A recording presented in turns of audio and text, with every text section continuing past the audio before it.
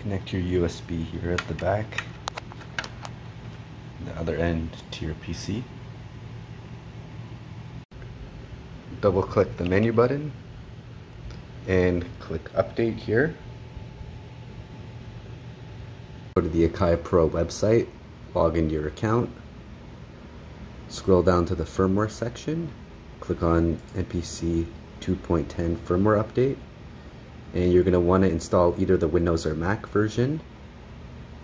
It, uh, and also you need to do the synth content regardless of which one you pick. And for the synth content, once you've downloaded it to your SD card, open it up. You're going to want to install the Windows or Mac version. And once you install the exe, it's gonna you want to drag this synth folder out into the root folder here. If you don't do that, then it won't read your plugin content. And that's why it said to pop up like saying you have to download the plugin content. Enjoy your new plugins.